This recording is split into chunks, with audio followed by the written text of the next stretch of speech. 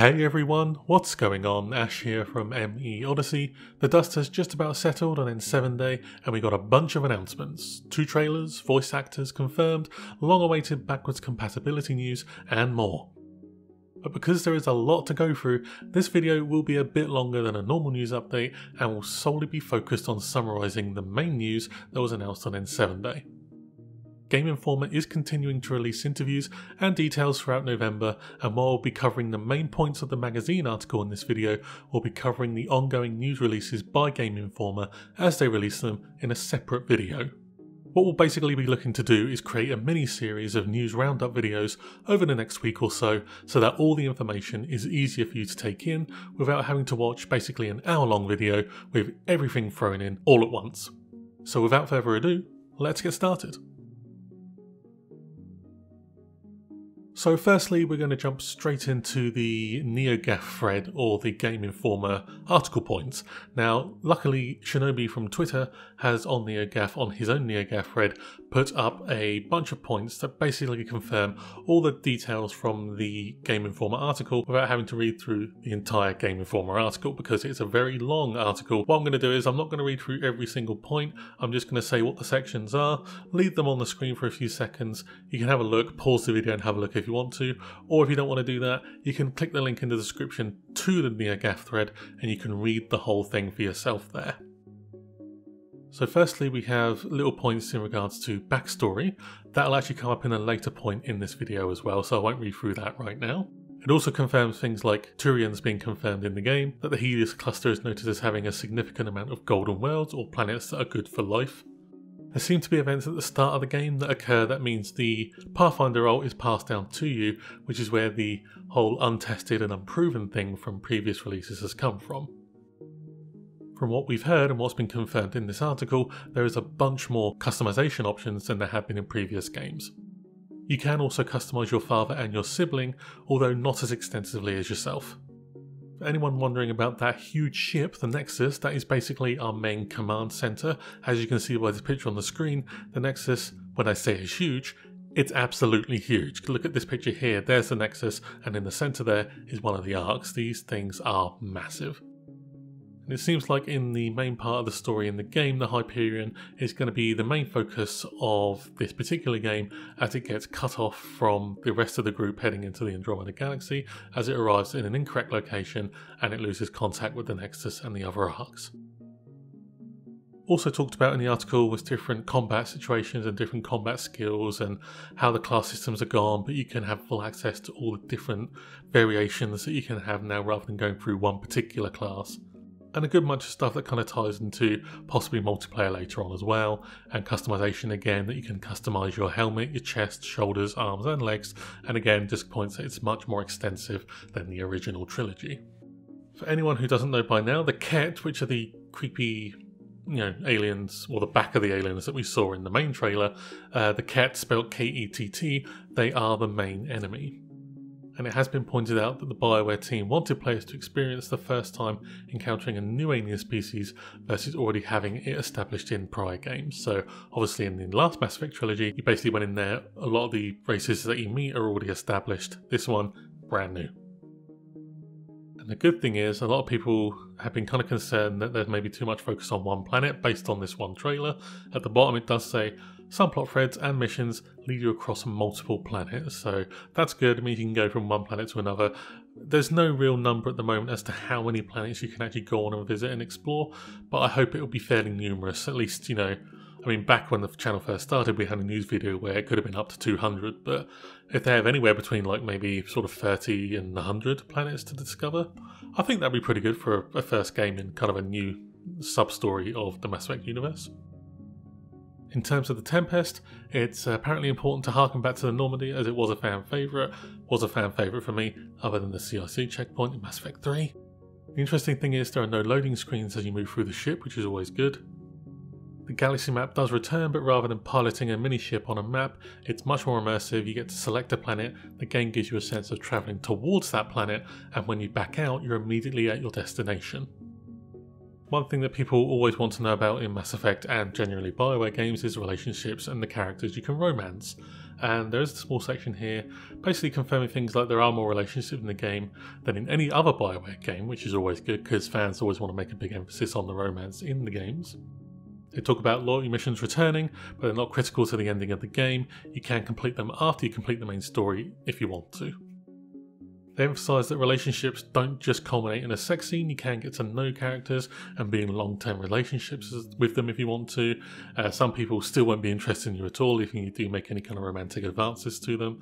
And by the BioWare also wanted to capture the more Broshep Garrus relationship kind of thing where they're very much you know, best friends and shooting bottles with Garrus kind of thing. So they want to capture that as well, should you not want to go down the romantic route.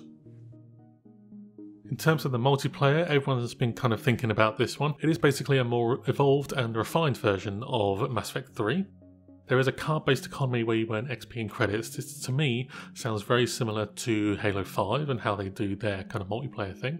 Uh, there are microtransactions, but no real world money is needed, uh, as you can unlock them normally by gaining in game credits. This is also something else that's very similar to the Halo 5 uh, multiplayer system as well.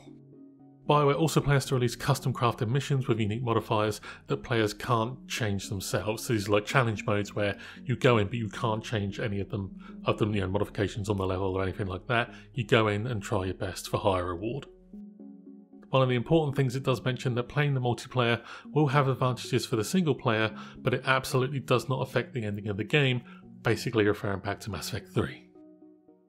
In terms of choices, everyone knows by now that there's no more Paragon or Renegade system. Uh, they want more nuance and subtlety, and giving the player more opportunity to actually express themselves. You still can do the old uh, cut in a conversation with the trigger thing, though, as in like all the other games.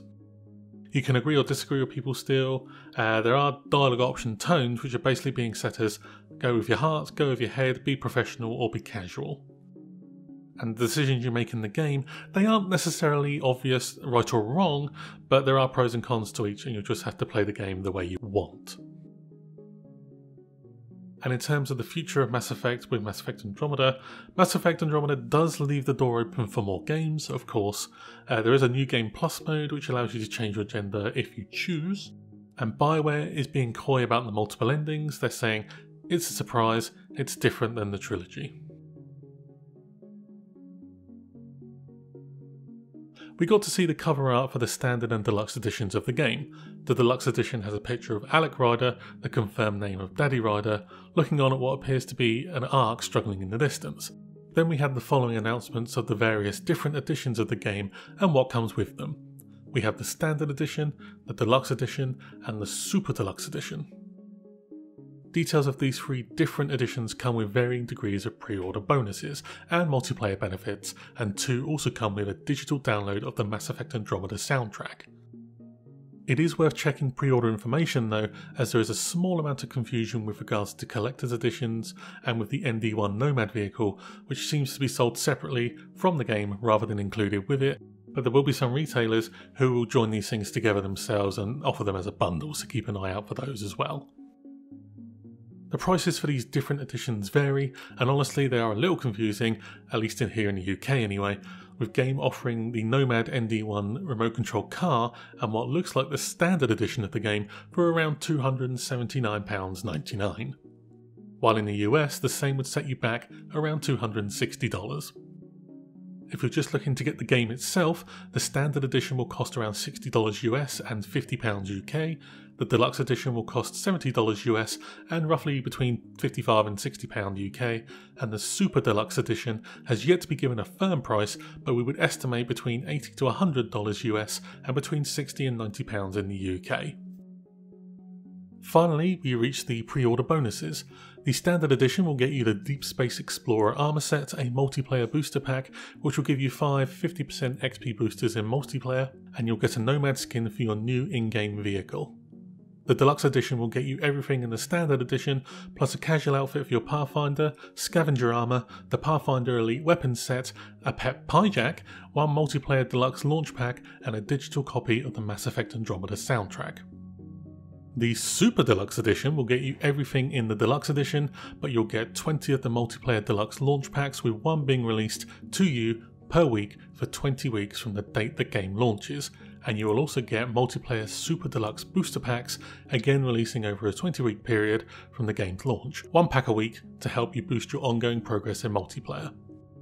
And of course, for those who have been waiting for so long about news of backwards compatibility or a remaster version, we got one of them at least. Mass Effect 2 and 3 are now available for Xbox One on backwards compatibility and are now also in the EA Access Vault for anyone who is subscribed to that service. This announcement personally was bittersweet for me, as it now means I no longer need my Xbox 360, but it's awesome news and we're happy that it's finally happened. Controller support for the PC version of Mass Effect Andromeda has also been confirmed too. So in terms of the voice actors and character names, we've got at least four confirmations on N7 Day. Firstly, as Scott Ryder, we have Tom Taylorson, who very awesomely voiced Octodad. As Sarah Ryder, we have Fryda Wolff. As Alec Ryder, the father of Scott and Sarah, and the Mystery N7 guy that we wanted to know about for so long, everyone guessed it correctly, it's Clancy Brown. And finally, the voice of Jien Garson, the founder of the Andromeda Initiative, we have Jamie Clayton. We also have the first name for this character called Liam. No voice actor confirmed for him yet, but a little bit of backstory is that he has police experience from his time on Earth, so maybe a bit of a security presence for the Andromeda team as they land in Andromeda.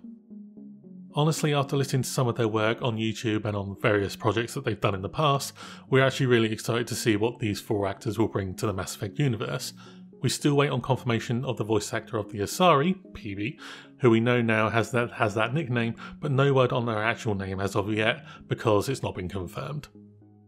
It has been confirmed that more voice actors will be announced soon, and to keep an eye on Caroline Livingston's Twitter account for more announcements. So, in terms of the Andromeda initiative itself, we have got a little bit of information. It looks like, first of all, that Mass Effect Andromeda is set, according to Mac Walters, just after Mass Effect 2 and before Mass Effect 3. According to the orientation trailer and the Andromeda Initiative website, it says founded in 2176 and launched in 2185, the Andromeda Initiative is a civilian, multi species project created to send scientists, explorers, colonists on a one way trip to settle in the Andromeda Galaxy. With powerful benefactors lending their support, the program has grown substantially in scope since its inception. The initiative's goal is to establish a permanent presence on the seemingly resource rich frontier of Andromeda and eventually create a reliable route between it and the Milky Way galaxy. There are five ships in total, four arks including the Hyperion, and the Nexus, a huge central ship where the majority of the Andromeda Initiative are. There will also be a group of people similar to the Council on the Citadel that you will have to report to. There were also two trailers released on N7 Day the new cinematic story trailer and also the orientation trailer as well. We were going to go into more detail on this news video, but we've already done a video each on both the trailers anyway, and they've already been released. So, if you want to watch them, click on the two annotations at the end of the video to go and watch them as well. So that's a brief summary of the main points that were announced on N7 Day. There will also be a gameplay reveal at the Game Awards on December 1st, so be sure to keep an eye out for that, as Geoff Keighley is teasing that he thinks we'll be surprised about how much we're actually going to see in terms of the gameplay. As I mentioned at the beginning, we'll be breaking down all the dev confirmations from Twitter and the ongoing Game Informer releases throughout November in an N7 day news roundup mini series throughout the next week or so and beyond, so be sure to keep an eye on the channel for more information very, very soon. Also, just a very quick thank you to BioWare for sending out these awesome Andromeda Initiative shirts to myself and Rima. We absolutely love them and can't thank you enough for sending them out. That's all for now. Subscribe to the channel to stay up to date on all things Mass Effect, and you can help the channel to grow by sharing the video too. Thanks for watching, we'll see you again very soon.